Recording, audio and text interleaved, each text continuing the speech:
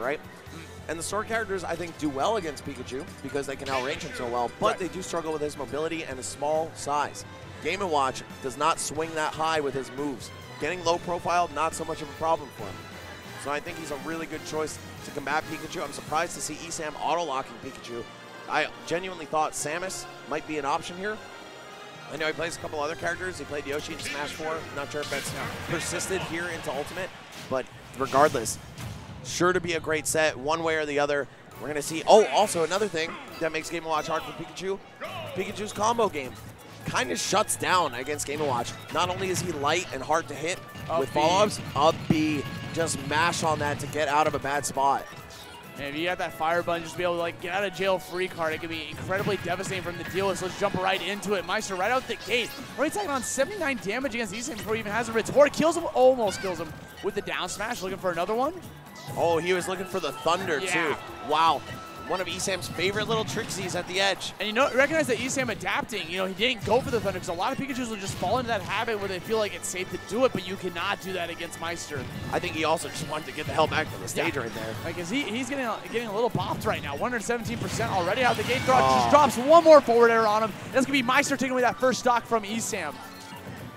Yep, this is indicative of how their previous matches have gone as well. These guys, unfortunately, it's kind of one-sided, but I have to say, the matchup is really to blame. I mean, Esam clearly a top 20 player in the world, PGR certified. And This is the second time we've seen this with Game & Watch. Remember, like, when he was fighting against Villager earlier? And Isabelle, like, in another one. Like, Maister's Yeah. just getting that, like, that, that really, like, good bracket. Dream for bracket for his Yeah, character. 100%. But, hey, man, talk to me when you got a Lucina into an Olimar, into a Wolf.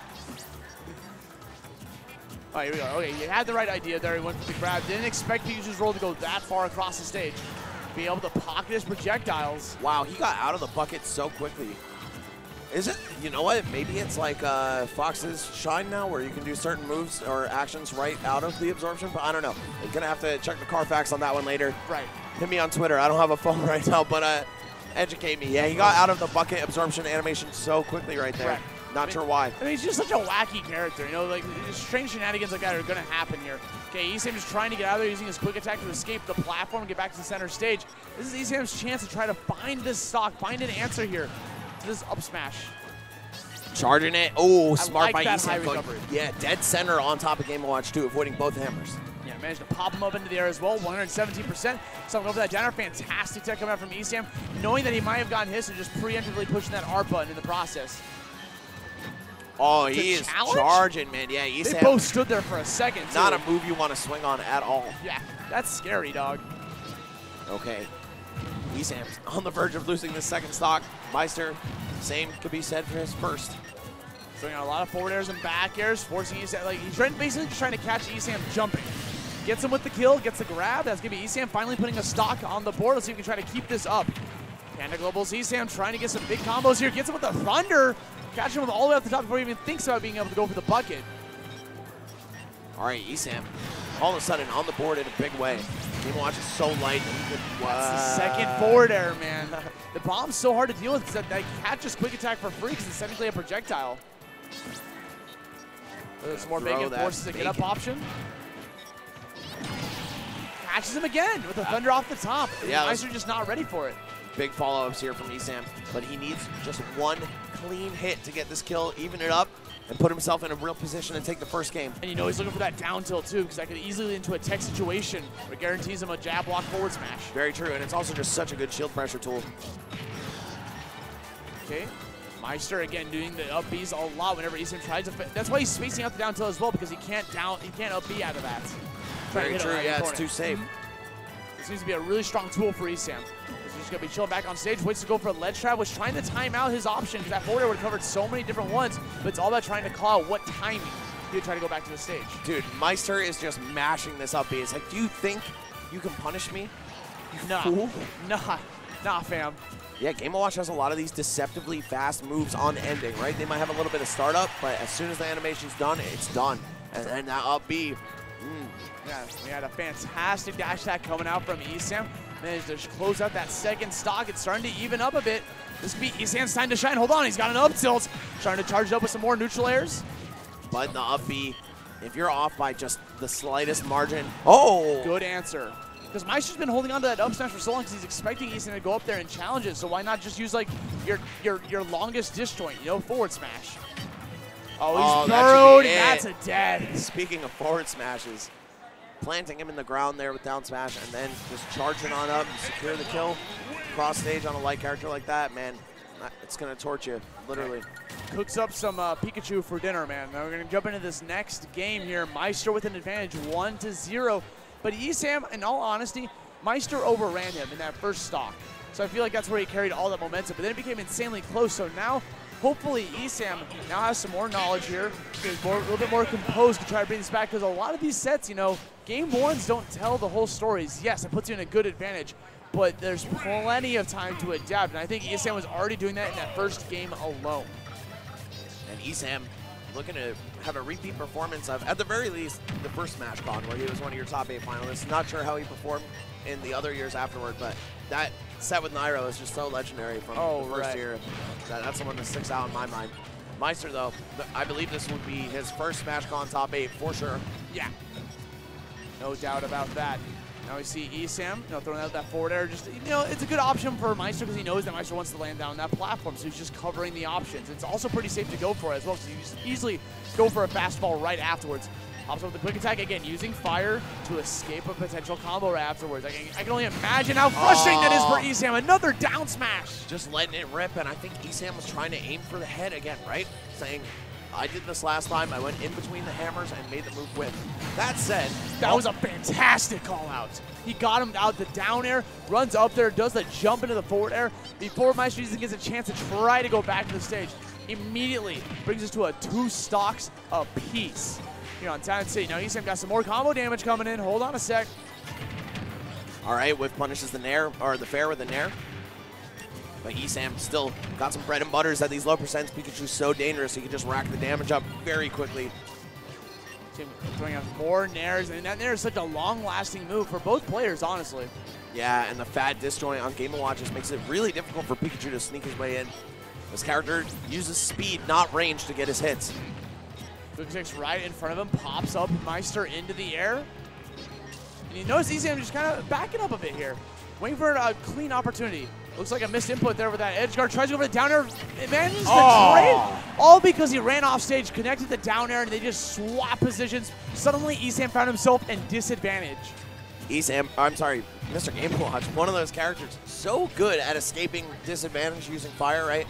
And also just because he goes to the ledge so quickly, he can turn the tables on an edge guard immediately. Reminiscent of like Martha Lucina, right? That dolphin slash, instant transmission back, but hold up, instant transmission to the left blast zone on the part of Esam, sending Maister all the way out there with forward smash. It- like every stock this set has been Maister taking away Esam. Esam responding in kind immediately. So if Esam can finally get that first attack, that first blood, he can easily put him into a game two, a game three situation, tying one to one. So what's gonna happen here is already off stage, avoids the chef, pops him up with the down air. Could easily turn into some bigger combos, but you know Esam doesn't want to get overzealous. Oh, if that were a full hop, I think it still would have missed. I don't think it would have Yeah. comboed, but that was what he Oh was looking for. God. Wow, Maister, you're crazy, bro. Roll the dice. Like that was Somebody some send this man to RNG, Vegas. RNG nonsense. If that could have been a nine, that would have been devastating for him. Dropping another forward air bomb on him, popping him up with the fire. That neutral air, though, Pikachu gonna fall out of it. Small light characters, sometimes they get that added benefit of just not having multi-hits connect properly on them. That missed. Wow, Esam just looking to replicate the situation he saw before. Maister let it rip a little bit too soon. Wasn't able to get punished for it. Another jump from up B coming out from Mr. Game & Watch. Maister trying to get another answer. Every single time Esam even tries to challenge that shield. Oh, Down and he sneaks behind him with down tilt. Such a strong move, man. The sewer lid, man, coming up, bouncing him. The blast. You know, Esam is in deep thought now, thinking about this next game. When you're at a, when you're fighting someone that you lost to twice now in tournament play in PGR, now a potential third one, and you're down zero to two, you can only imagine how frustrating that can be. But the most Oh, important look, thing yeah, to do, looks yeah, stressed, man. I, I would be too, dog. Like, imagine putting yourself in his shoes. Like, to be down zero to two, to make that comeback, And down 0-2 in sets. you gotta dig deep. Esam normally one of like the most chipper positive dudes, even in the Right. face of a loss. But this looks like he's like, trying to figure out what the way forward is. Is it a character switch? Is it using Samus? Is it using Yoshi? I don't even know. I don't know how deep his pool runs in this game. But it just looks like Pikachu's not the answer. But it's all up to ESAM. Is it? A, it could be a character swap. It could be a mentality change. Which I have to wait or and a see. really good stage counter pick, or a mixture of the three. right? so you never much. know. But I know that this guy's really good. He's got a game plan no matter what. Even if he has to figure it out on the fly, there's still a very solid chance that he runs this reverse 3-0 and puts himself in the loser side of top eight. He's still thinking here. Looking at these stages, Dude, look how intense their faces are right now, Yeah. man. I mean, there's a lot on the line here. Maister himself, one win away from moving on into top eight. That's super important for being an unranked player like that. That would do wonders for him. My man Dre said the other day that you can feel the energy shift when you get into this top 64 part of the bracket, but you can feel it shift even further when the top eight qualifiers are running, man. I have chills just looking at how intense Maister and Esam are staring at that monitor right now. Hold up. This all right, you know what? I hope this is a 3-0 now. Wow, that's He had to resort to Lylat to pull the win? No, I'm sorry, Esam. I'm not about that. Well, Nah, just kidding, just kidding. But uh, ban, ban the stage. I, I had a feeling that you're going to get some comment from Max on that stage pick. But now here we go, going into game three. Esam, look how patient he's playing. This might be the mentality swap he's trying to do. Not trying to push his, you know, pu- push the envelope here until he finally gets a hit. So all jokes aside, though, I'm not sure exactly what ESAM's looking for out of this stage. The three platforms certainly could be good for him, right? He doesn't get those But- uh, quick attack cancels anymore. Yeah, yeah, that's also true. But I mean, just for his combo game, right? I don't know. The the strange ledges might, I think, hurt Pikachu more than Game Watch. Not even just for recovery, but for the way that their moves are going to land.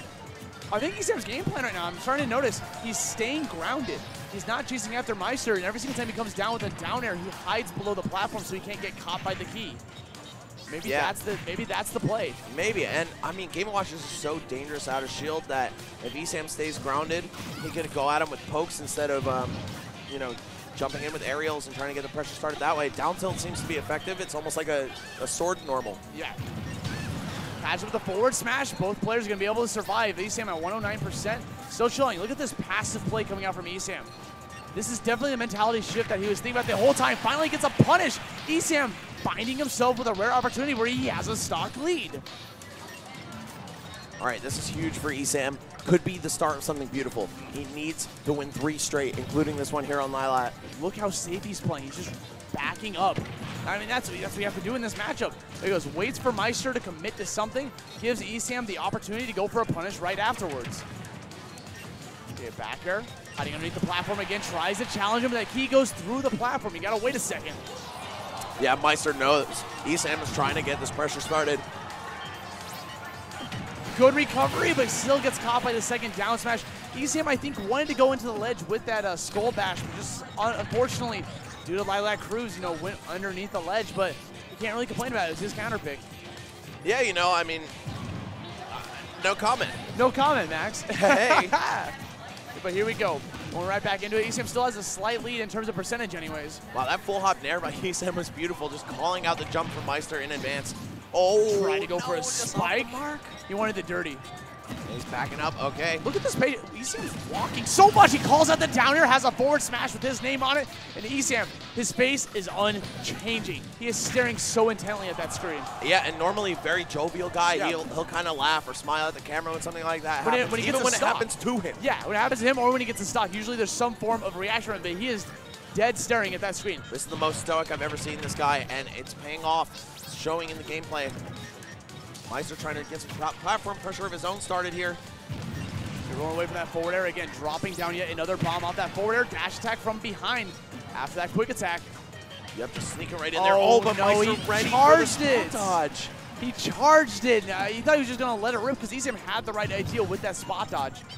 Maister, a good dice roll away from top eight right now. Esam, a huge mountain to climb, but he has all the tools. He's got his pick. He's got his harness. You know, he could make it up there, but Maister just such an obstacle right now, trying to knock him down at every turn. I like that empty hop, wait for the reaction, and opt to go commit to the Nair afterwards. They let him into a free grab, just increase that damage bit by bit while he has Maister a little bit stuck in that corner. Quick attack again, gives him that free up B. Did he pocket Oh. it? That was, he did not. Just one, though. Just one. one. Me and J-Tail's got that patch to Smash 4. Yeah, just right? I remember look, that. Look up 17 second doubles match. Anyway, Oh here we go. God. Maister so close still to this top eight.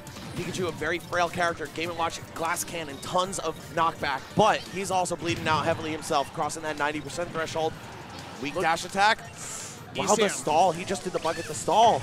He did, I mean, he had to. Esam was out there. You know, look, I just love how Esam's just spacing all these attacks and is just not running into these hits. That reach! Oh, and he That went was- for the judgment. This Yeah. guy's crazy. He had a smash potentially. Actually, no, uh, the low percent, and Esam's Yeah. mashing got him out of there. Yeah, oh, on. mashed to get out. Hold on, this is starting to go, run out of Esam's hands. Gets another punish, another dash attack. Has him off stage. Goes back onto the ledge. Well, held Oh. down. That was an opportunity. Catches Oh. with the oh. dash attack. Esam Oh, finally Esam. putting a point on the board, and that's a sigh of relief because he almost let that go. Almost. Staying alive by the skin of his teeth here. Esam still in this, man. But now we Don't got count him out. We got counter picks coming out from Maister now. I feel like, honestly, that was such a smart play from Esam. The fact that he counterpicked Lylat Cruise to have all those platforms in order to be able to hide underneath, as well as just a passive play in general, just going for a more punish game, hit, hit, hit and uh, you know, just a hit and run type of game plan style. That's Esam doing that too, not even Maister. Just practicing his showing mash. his, showing his feelings yeah, towards a yeah, certain yeah, character, Yeah, exactly. certain 2D character. All right, here we go. I didn't see what the counter pick was, but we'll find out in seconds. Town and Town and City. City. All right, high ceiling, short sides, big stage, and also three different potential layouts, right? So we've got the FD clone, we've got the Kalos clone, and we've got this weird inverse battlefield that's also partially like Kalos because the edges or the platforms hang over the edges. Right. And right out the gate, you saw Maister already trying to like end a stock there. You, you put Esam so vertically afterwards. Esam's been doing a fantastic job of just getting these punishments. Getting a dash attack on the down air. Oh Goes off God. super deep for a forward air. Esam again taking away first blood. This is a totally new Esam, man. I was thinking Pikachu might not be the answer, right? Maybe it's time to switch characters. It was a he's showing- mentality swap. He's showing that he can do what he does best with the character he does it best with. Yeah, I mean, sometimes you just gotta believe in your character enough, and you can make magic happen. Just like this combo, filled with magic, it continues. How is he extending this? 71 damage. He did the fair drag down without the last hit, and it made Game & Watch sink to the floor to keep it going. That was beautiful stuff by Esam, and he knows that at any moment, if he's slightly off the mark, he can get up B. Oh, Gets called out by the up smash. You saw him land right in front of him with the neutral air. Gotta be safe right there, 85%. Has him off stage, tries to drag down a chase after the down air because he sees an opportunity. If he can get yet another sneaky forward air near the edge of the blast zone, that put him in a good spot. Trying to call out a full jump out of shield, drags him down, doesn't want to overcommit, rolls away just in case. Wants to opt to go play, play it more safe that way. Goes at the Thunder Jolt. Esam standing still. Waits for the timing again. He just can't seem to get the correct timing on when Maister's going to commit to a, a ledge option. Oh that Bacon anti-airing him, stopping him Yeah. cold. Maister making a huge comeback so far. It's tough to challenge Chef sometimes when you go directly. Get Esam again, just standing there, waiting for Maister to eventually dash in and goes for his quickest burst option, dash attack. Yeah, I love the contrast, right? Inching back and forth, and then, oh, I'm in your face, and he does it again. He, bro, bro, Esam's in his face, but he's also in his head, I think. Look at this. This comeback? Is this actually happening? That's Down a great air. line, by the way. I'm taking Yeah. that. Patented. There we go. Down air spikes him again. 61 damage again. These big combos are doing wonders for Esam. Get you on the middle platform again. Dropping down with the back air. Turtle. Try to avoid the chef. Esam making killer plays this time around. It's because of the passiveness. I'm telling you. Yeah, absolutely. We saw it exhibited first on Lylat. Just started being way more patient, waiting for Maister to finish whatever he's going to do first. Quick attack to center stage.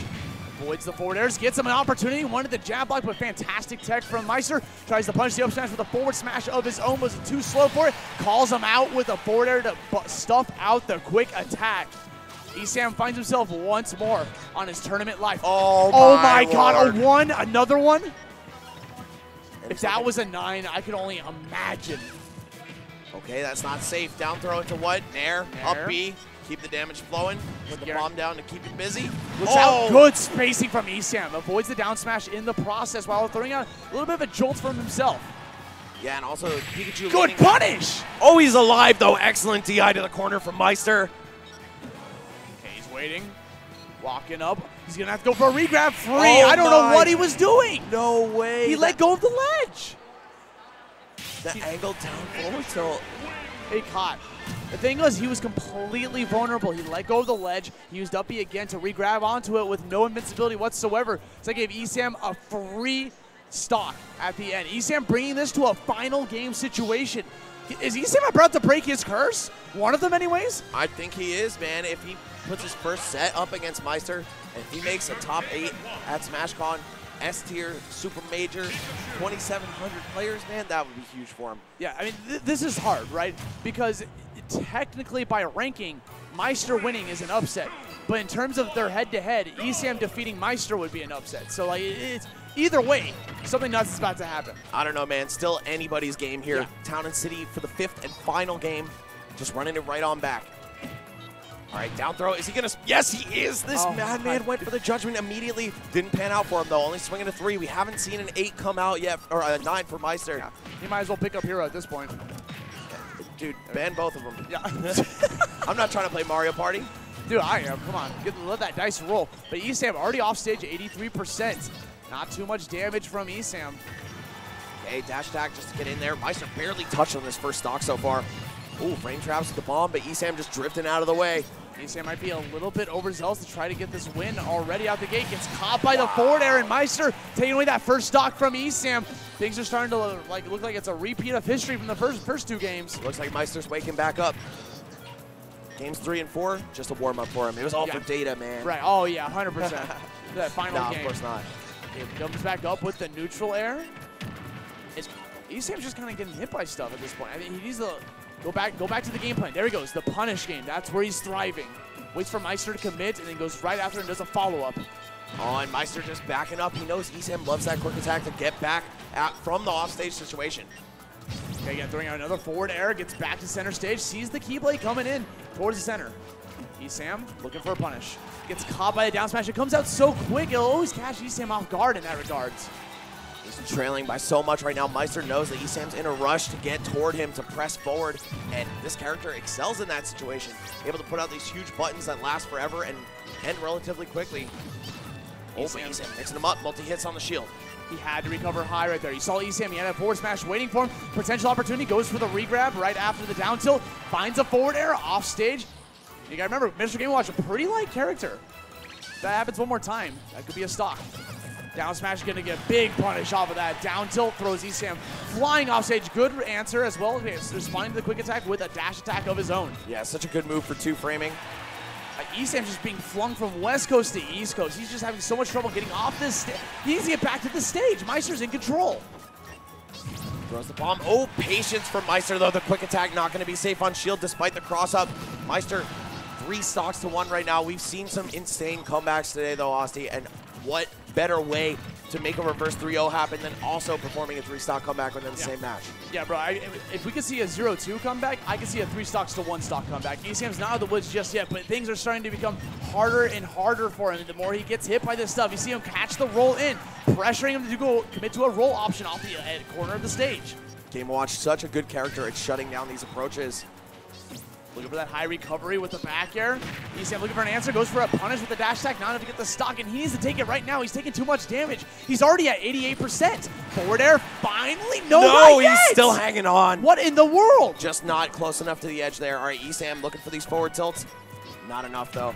Gets out of jail free car with that fire. Up be out of shield. Like, I don't know. And that's going to be an up smash. hold on. Maister ends it with a three stock.